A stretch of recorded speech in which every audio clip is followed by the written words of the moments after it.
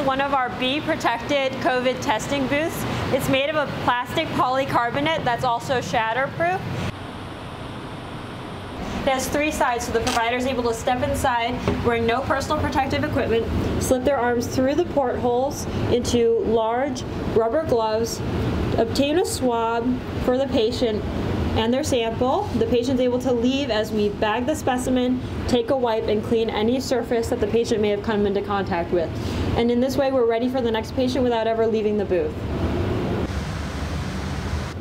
You have pretty good dexterity, so you're able to grab the swab that you need to obtain a sample from the patient. The patient's unable to leave. You can bag your specimen.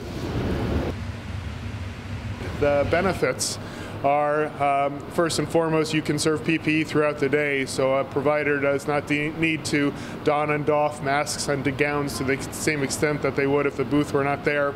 Uh, and secondly, it acts as a, an a, a extensive barrier between the patient and the provider, offering uh, more protection.